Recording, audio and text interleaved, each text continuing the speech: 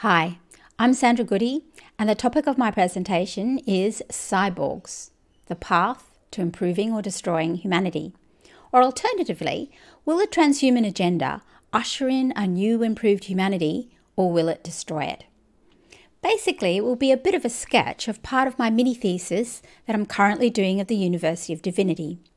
So I'll be talking about transhumanism, which is a philosophical movement which advocates for the transformation of the human condition by using sophisticated technologies to enhance the human intellect or physiology. So essentially, I will be talking about the question of what it means to be human, especially in light of the current and future technologies that push for a progressive evolution of our species.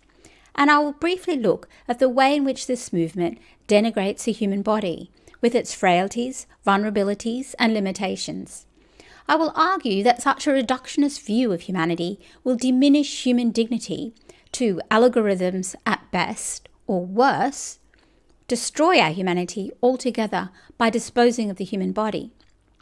In contrast to the transhumanist worldview, I will argue that the gospel offers a different and very hopeful future, including the resurrection from the dead in a corporeal body.